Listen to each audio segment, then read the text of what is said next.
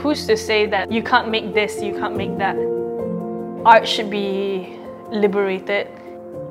It should be anything and everything.